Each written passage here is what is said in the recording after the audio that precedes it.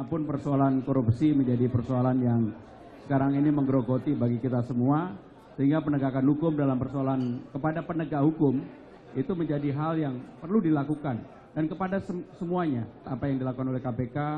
terhadap penegak hukum di Jakarta Selatan tadi malam merupakan hal yang memprihatinkan kita semua, tetapi sekaligus kita juga harus memberikan support kepada KPK.